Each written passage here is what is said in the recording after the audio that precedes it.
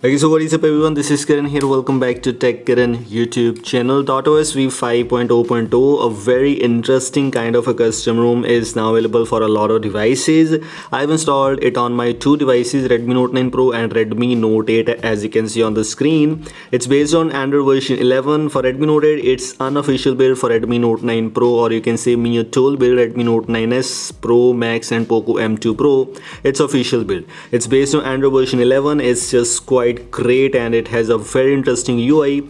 I'm gonna share with you some things about this latest OS and why it's kind of unique.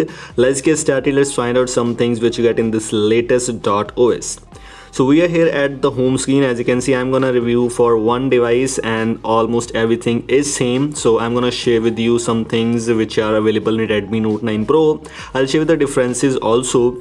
First of all yes for redmi note 9 pro or you can say Miatoll build is official build and this one is one of the major difference. For redmi note 8 it's unofficial build. So this is not actually that major difference but yes it is. As you can see something very interesting kind of codes are written here. Whenever you try to open the developer options but these are opened by default. Let me show you by going into customizations. These are some insane customization options which you get here. Or you can see a very interesting kind of UI which is available everywhere. Or you can see the quick settings are also quite interesting one. This one is looking interesting blurry and you can see though there's no titles there but you can simply adjust them in your settings if you want to let me show you by going into my Redmi Note 8 how these things are working.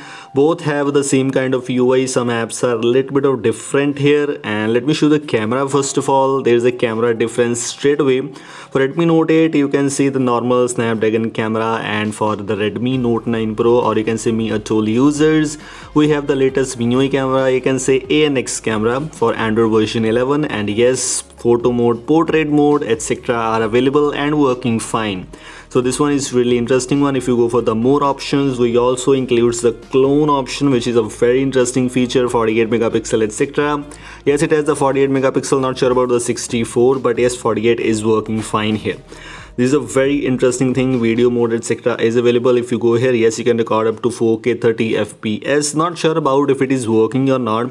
We also have the macro lens and almost everything seems to be interesting one. So this is a very interesting thing which you get in the Miatoll build for uh, dot os which is available for the Miatoll build. Moving on to some other things which you get in this latest dot os you can see here we also have the ANX scanner option available which was expected here let me show you some other differences. If you go for the play store let me show you that if it is uh, if my device is certified or not. If you go for the settings here if i go for the settings sorry for that i don't have internet connection but yes it will show me. Device is not certified in redmi note 9 pro and device is certified in redmi note 8 so there's another difference and also let me show you one more thing that i don't have any any kind of magisk or even magisk module or whatever else i've installed both are not rooted. One is one has device certified without root and one has device not certified without root. So you need to install magisk and apply the hide magisk module for that to pass the safety net status moving on to other things connected devices etc has the same kind of things. Apps and notification also has the assistant option available there. If we move on to other things battery here's a new ui i. Didn't got much time to test the battery backup honestly but yes the ui is looking really interesting one. So that's why i thought i should review it. We have the display settings. Every ui is a little bit of changed here you can say. Almost everything is changed. It's not like the normal android custom ROMs. it's bit of different Descendant was one of the great ones, but Dot .os 5.0 beaten them all. We also have other things, includes the Xiaomi parts. Xiaomi parts is also available for the Redmi Note 8 users, but let me show you some differences which you get in the Xiaomi parts. Here you'll see the clear differences between both of these Xiaomi parts. In Redmi Note 8 you don't get many features, but in Redmi Note 9 Pro USB fast charge, Xiaomi doors, a lot more features are available. So there's another difference there. Redmi Note 8's unofficial build is good, but Redmi Note 9 Pro's unofficial build is looking quite great. But customizations, of course, there should not be a single change, not a single change. Everything is same, so let me just show you some changes which you get in the customizations or customizations which you get in this build. Some settings for customizations which are not a big thing but okay let me just go back and let me show you some other things about this customizations.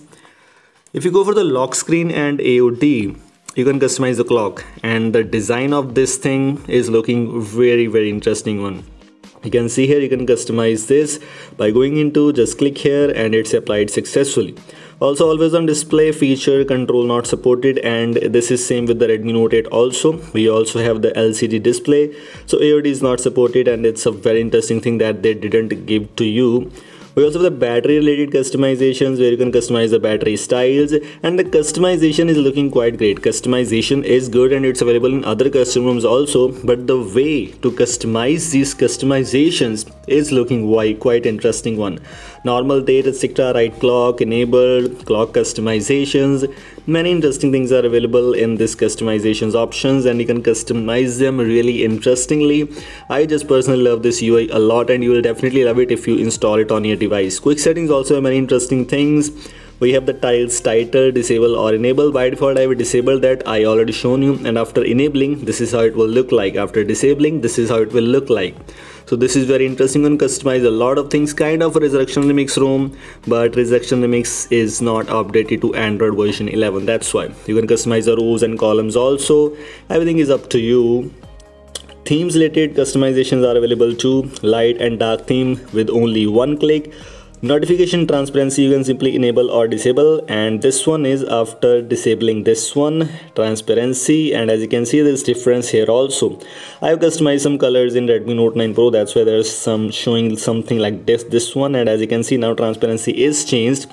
So these are very interesting features which you get here. I personally liked it a lot. System also has some little bit of things like the gesture related things navigation navbar pill that's good. Gboard we have the screenshot. They take a three finger screenshot. This option is quite good. Let's try out. Yes it's working fine here. Almost everything seems to be interesting one. Of course in my case i'm using the official build also and official one is looking quite good one lock screen fancy lock screen media artwork is also working fine at last we have the launcher grid where you can simply customize to 4x4, 3x3, 2x2. It's just up to you. But whatever you do, you will be you will love it definitely. These were all the things I just wanted to let you know some little bit of things about this custom ROM. I hope you like this. Installation is quite same so I didn't thought I should give it you the installation tutorial. You just need to install the zip file and you're good to go. I already installed it on both devices. Working fine here both are coming with the pixel launcher and both of these things. Let me show you. As you can see both are available as pixel launcher pre-installed.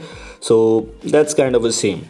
All these things i've already shown you. I hope you like this. If you like this don't forget to like and share this video. If you're new here don't forget to subscribe me this is all. Thanks for watching and goodbye. Have a nice day